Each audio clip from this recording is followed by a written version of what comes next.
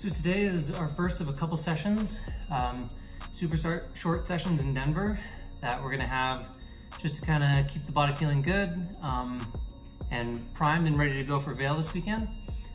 I, I don't want to take like a bunch of days off in a row. I'll probably feel kind of stiff for comp days, so we're just having as short of a, sessions as I possibly can in order to kind of just keep the body feeling good and ready. So uh, previous day was a rest day, which we flew from Virginia Beach over to uh, Denver, which is about a couple hour drive from Vail where the comp is happening. And um, today, today's session I was expecting to be very hard and same thing with tomorrow um, because we're at like, I think we're about uh, at 7,000 feet elevation. And that's kind of why we were doing our endurance training as well at the beginning of the program to kind of build some cardio and and so this that this altitude won't be as much of a shock to the system. Um, but yeah, like I was, I'm like drinking plenty of water, I'm eating a lot, I got some good sleep, so I'm doing everything I can to kind of fight this altitude. But I was definitely feeling a bit today. I I think I, what I find happens to me, because I've been here to Denver and Vail a couple times to compete, is that I don't necessarily feel weak or like my climbing doesn't feel bad. I just feel super shaky and it feels kind of hard to relax and control my body movements. Um, that's what I find happens to me a lot. but anyway, we're here at um, Movement Climbing, uh, which is a really cool gym. It's really big. I've been here once about four years ago um, before a Vail World Cup. Kind of did the same thing where uh, I'm here for a couple days to acclimate to the elevation and have a couple sessions. And then like just the day before the comp, you drive for a couple hours up to Vail uh, where you'll stay for the event. And so uh, this gym is, is pretty cool. They got a lot of nice boulders. Um, here you can see I'm starting with a few physical boulders just to get the body going. Um, I'm pretty sore after the comp. I got a lot of like little nagging uh, tweaks and and um, some pink skin. Uh, that one fingertip is still pretty bad. I have to tape it, um, but it could have been worse. Honestly, I could have left the event with bloody tips. So I'll I'll, I'll accept like just one split tip as my uh, punishment. But yeah, so I'm starting off with some physical boulders. I feel I feel pretty strong, I, but I, yeah, I definitely feel shaky. Maybe you can notice it a bit.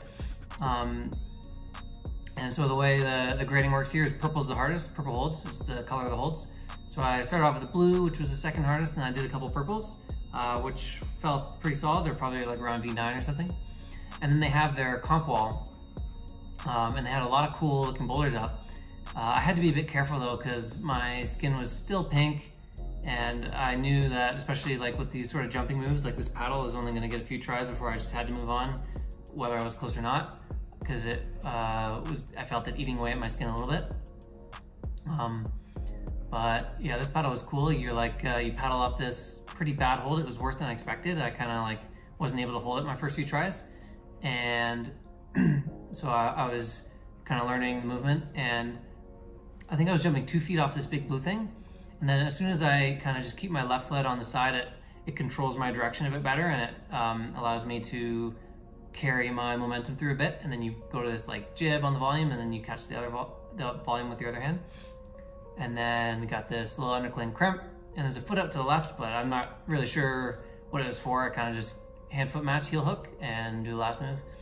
But yeah, that was a, that was a really cool boulder. I think I probably made my skin 2% worse uh, after doing that boulder, but uh, it was a bit too cool to resist. And so with the comp boulders, it's not the same as the other boulders where it's by whole color is the difficulty. I, on this day, I was actually kind of confused. I, I thought it was by whole color. So you see I'm doing this purple and blue one because I thought that like purple and blue are the two hardest grades. So I thought like this was one of the hard ones.